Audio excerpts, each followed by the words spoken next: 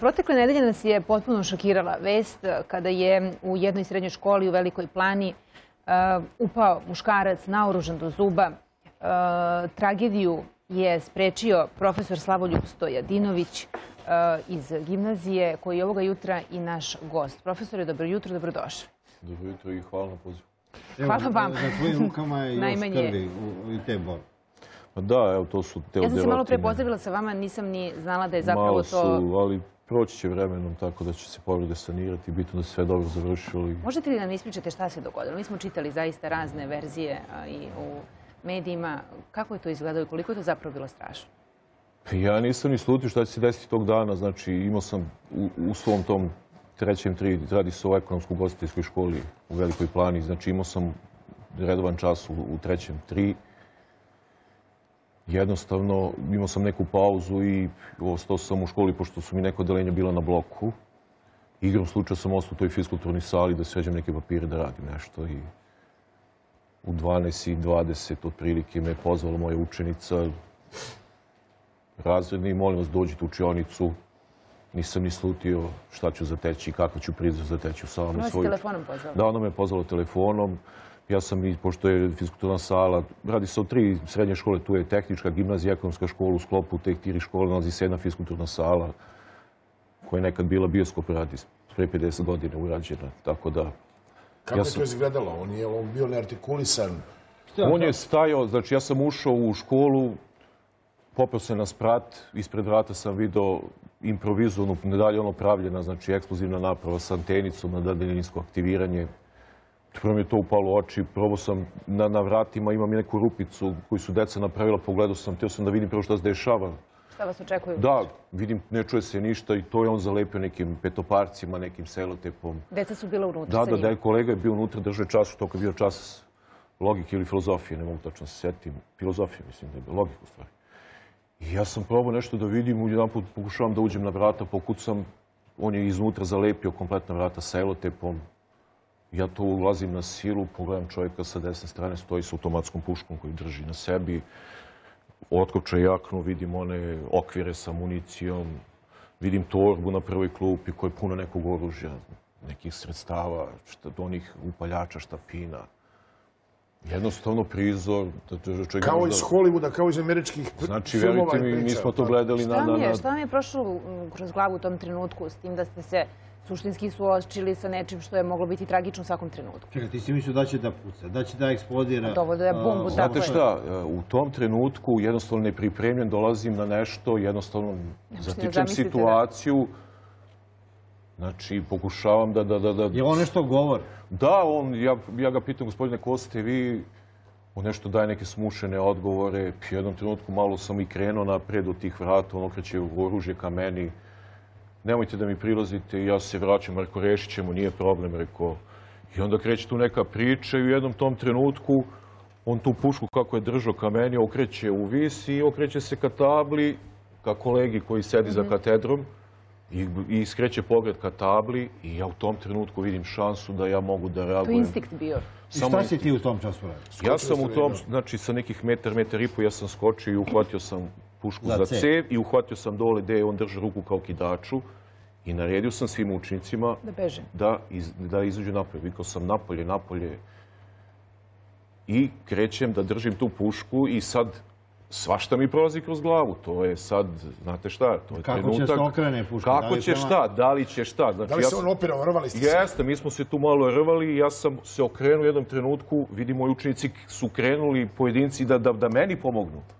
Ja ponovo vičem deci da na moraju da nap- napolje, napolje i u tom trenutku oni svi izlaze napolje i ja ga guram ka tabli, ka tom ćošku i kad sam se okrenuo, toliko sam bio priseban da vidim da nikog nema u učionici, kreće to obaranje, jednostavno on udara, udara me, grize me, šutira me. Čekaj, o- ovo je od puške, ovo što... Da, da, ovo je poskotina od, od oružja, a ovo je od zida, kako sam pušku, kako sam cev udar u zid i tad je, Nije došlo, uspeo da opali, je li tako? tad je došlo do paljenja. Znači, kad, kad sam ja bukvalno došao do tog zida, bili smo sami u učionici i ja kažem, razmišljam, rekao, ili on ili ja, rekao, nema, gotovo je, rekao, odmah đavo šalu, više nema šta. Rekao, vidim, bezbedno je, nema dece. Rekao, sad ćemo da se obaramo, nema tu mnogo priče. Znači, situacija specifična. Ti si znao da si u smrtnoj opasnosti. Pa da znao može sam, da opali. Da. sve sam ja nema znao, izbora, da. ali nemate vi izbora, to su sekunde u pitanju. Znači, moja procena bila u tom trenutku da to mora tako da se odradi. Ja sam danas mogu da budem i tragičan. Znači, Da nisi uspeo. Pa da, Mogla je ta bomba deca su, da... deca su poslata u školu, mi smo dužni da se staramo o njima. Mogao je posle da niste uspeli da Pa krene da, da juri za decom da, po školi. ili Ko zna zna šta bi bilo, znači. Čekaj, ja... a, I na kraju, kako si mu oteo? I tu dolazi do paljenja, znači on gura cijev meni na glavu, ja je vraćam na zid, udaram tu pušku o zidom, puca jednom, puca drugi put. Gde su meci? Meci su završili u zidu, znači naši su, forenzičari su radili do kasnu noć A, a istragu. jesu se odbijali meci od zida? Meci su gore rikošetirali, jedan metak je nađen na Ne, samom mo- ulazu. mogao- mogli su i prema tebi da. Pa mogli su, pa sve to moglo sad. Uglavnom, po meni je pa onaj beton, znači, od zida, znači, to su komadi izvaljeni. Znači. Kada si ti njega savladao? Ja sam njega savladao, kad je on opalio ta dva metka, ja sam uspeo, znači koliko sam bio priseban da ga navučem na sebe, da ga izvučem iz ravnoteže, pošto je jako nizak, stabilan. Povukao sam ga ka sebi i počistio sam ga klasično čišćenje, bilo u pitanju, bacio sam ga na Dobro, zemlju. vi ste profesor fizičkog. Ja sam profesor fizičkog I malo i ste spremni i malo imate neka tvoja, znanja. Pa i to, imao sam neku, što kaže, sreću. I nadčovečansku u snagu. I, i što To je je adrenalin najbitnije, bio sam priseban. Čekaj, dok je trajalo vaše rvanje, niko nije ulazio. Ne, Djeca su nam. ne, napoli Nisu oni pozvali neke druge nastavnike, policiju. Ne, ne, ja sam naredio svima da moraju da izađu. Kad sam ja oborio napadača, jedna koleginica se pojavila na vratima, ja sam naredio da svi moraju da, da se škola evakuiše zbog velike količine onog što sam Vi vidio. ne znate ni šta je on doneo u tom trenutku. Ono što ste mi, ono što sam ja video, znači to su, da li je to pravo, da li nije, to neka rade nadležni organi, ja u to neću da ulazim. Znači, Evo da osoba bila... prava je. puška, puška je opalila, znači meni Prava je je čim je to... pucala. Čekaj, je si bojao dok ste vi rvali da će ovo da eksplodira, ovo što je vezano selotejp? Slušajte da vam kažem, u trenutku kad sam ja njega oborio, on je počeo da se hvata za džep i da vadi nešto i onda sam morao da skočim, da ga oborim na grudi, da mu stavim ruke na potiljak Da i da legnem na njega i tako sam sad čekao policiju. Koliko je to trajalo? od samog ulaska njega u školu, on je tri minuta bio pre mene u samoj učionici sa, sa mojim učenicima i sa kolegom. Znači, ja sam posle toga ušao, desetak minuta je sve to možda trajalo skupo. Je vam poznata ta Deset osoba? minuta ste se rvali sa njim. Sve ukupno, 6-7 minuta je to trajalo To je čitava večnost u takvoj situaciji. Šta je on izgovarao? Pretio? Šta je on hteo? Šta Ko je ta osoba? On je, ti saznao šta on hoće? Ja oko detalja ne mogu zaista, to što je on meni rekao, što rekao nadležnim organima, mogu samo da kažem da, da je osoba psihički labilna. Čekaj, on je nastupao kao neki osvetnik, nešto što da je video na filmovima, te udake koji uleću i, i u crkve, i u škole, Šta je ubijaju sve znači to će istraga da pokaže, uglavnom, Je on je vama bio nepoznato lice? Ne, ja njega čovjeka nikad nisam Nema vidio, veze sa ne decom, sa roditeljima. Znači, što se tiče, to sam juče sam naknadno čuo, uh, um, ima, ima dete koji je u, u, učenik naše škole u prvom razredu je Dete treba zaštititi. Dete naravno. treba zaštititi, dete nije krivo. Njegovo dete. Da, njegovo Je on dete. psihički probleme, je lečen. Verovatno, ja sam čuo da, je- da je lečen, da je bio u nekim ustanovama, da jednostavno, ali... Odakle mu to oružje? ne, ne znam, znači istraga će pokazati, ja zaista... To je čitav arsenal, to je i automatska puška, koliko smo razumeli. ili Tako, da, to je On učesnik nekih ratova. Ne znam, stvarno ja tu informaciju nemam, ja sam Dobro, naravno, vi prvi put vi- video Ali evo, vi čoveka. ste fizički spremni, s tim da ste profesor fizičkog i um, imali ste taj instinkt za pravim pokretima. Da li ste ikad u životu imali takvu sličnu situaciju? Da li ste ikad videli uživo oružjem? Da li ste Slušajte, bili u tako opasnoj e, situaciji? Znači, što se tiče oružja, znači, služio sam vojni rok, e, imam oružje, lovac sam, znači, imam nekog dodira sa tim oružjem. Neko iskustvo, da. Mhm. Imao sam sreću da na fakultetu za fizičku kulturu u Novom Sadu, kod profesora Savića, imao sam dobru obuku što se tiče tog, te tehnike borenja.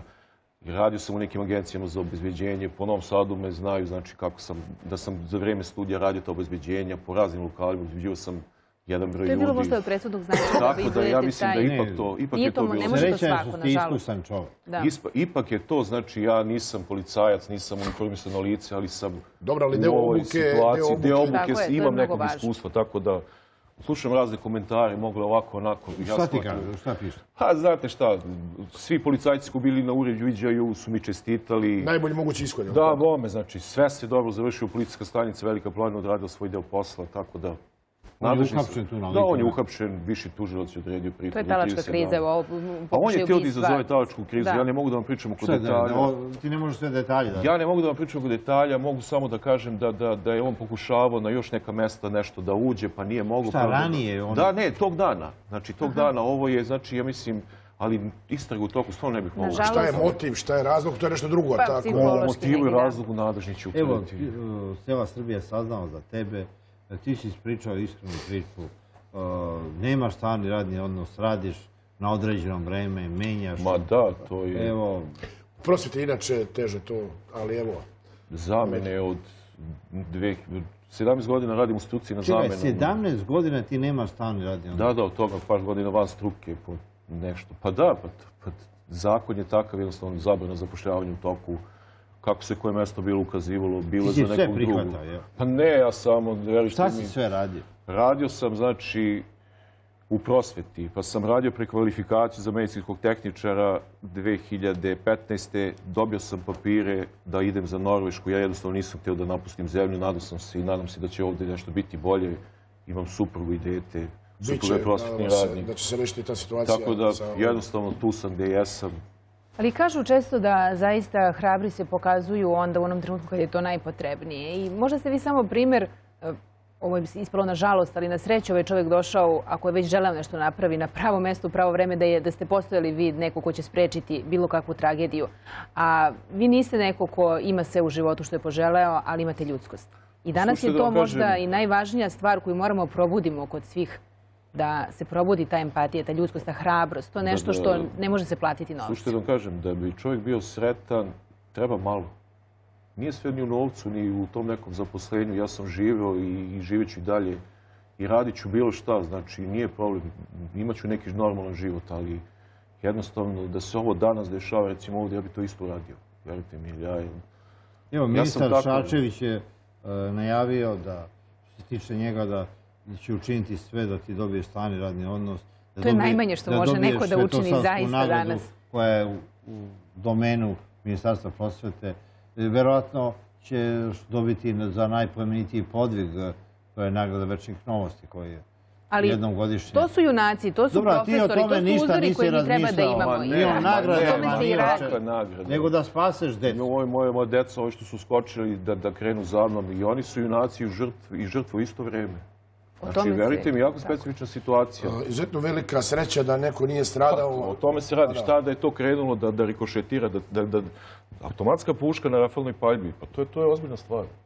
Mi koji smo služili vojsku znate da, da, da u par sekundi... Pitanje je koliko on da. uopšte zna sam da Pa koristi to što je poneo tako Da, pitanje, može- znači, puška je bila otkočena, metak je bio u cevi. Znači, Koliko to je su, nestručan to su što može ozbiljne da- stvari, znači, ali... Profesore, uh, svaka vam čast. Uh, to je nešto čime treba da se dičimo uh, i da budemo ponosni na to što imamo takve sugrađane i da budimo kod naših sugrađana upravo tu ljudskost i hvala vam na tome što ste pokazali da imamo takve I u ljude. najtežim situacijama se pokazuju Ja se nadam da se ovo u Srbiji nikad više neće ponoviti i da ćemo jednostavno ono što smo gledali na, na I da će na ostati u filmovima. Da, da će ostati na Ovaj, filmovima. Iz američkih filmova. Pa Da, dobro, to- tamo je to čak česta pojava i u realnosti, nažalost. Nažalost, Da. nažalost. Nažalost. Došlo je evo, kod nas ovaj prvi put u Srbiji da se ovako nešto desilo. Pa idemo dalje. Šta da radimo? Nadamo se iskreno da ćete biti adekvatno i nagrađeni upravo zbog toga što vam to nikad nije bio cilj, nego nešto sasvim Moja najveća nagrada je, su moja deca koje su me podržali, roditelji. Šta su vam oni rekli? Evo, koji su to Pa, slušajte prvi kažem, bili znači, kada... juče u školi pozdravi, svi su zvali roditelji. Danas imamo te vanredne roditeljske sastanke gdje su se psiholozi uključili, znači mi imamo tim To je za stres, to je bezbednost. trauma, naravno. Juče je škola donela neke, neka, neke, neka, neke, neku putanju, neke, ne- imali smo sednicu, znači kako će se i šta će se raditi, proformiran je još jedan tim za krizne situacije, nešto novo. Znači, ovo je sve novo za sve nas, znači mi moramo E, veliko upozorenje za čitavu Srbiju, za čitavo društvo, sistem prosvete i načina obezbeđenja te de- dece u samim školama. Da. Moramo da razmislimo šta je tu Da. dovoljno, šta nije, jel tako? Da. Evo, po školskim dvorištima se muvaju i narkodileri, razni psihopate. E, Vrlo je teško sačuvati decu. Roditelji šalju bezbedno. očekuju da su na bezbednom. O, Dobro, ovakvih ljudi jesu. strah će se pojaviti da može i ovako nešto. Nešto će morati da se menja, ja očekujem da će Kako nadležni... zaustaviti te osvetnike, te ljude poremećene koji uzimaju oružje i pravdu u svoje ruke i vode neke svoje izgubljene poremećene bitke? Jednostavno, nadležni će morati da se pozabave, da nam ovo bude nauk za buduće, da se jednostavno nešto... Pojačati bezbednost. Da, morat će tu ili privatne agencije da se uključe ta da se, da se ti ulazi policija, da ima toliko kadrova koliko ima, znači nemoguće obezbediti sve škole. Ali nešto će morati, neko rešenje će morati da se nađe, jer ovo, ovo treba da bude nauk I svima da bude Profesore, hvala vam najlepše. E, hvala hvala vam puno. i uh, zaista neka me na čast. Hvala. Hvala.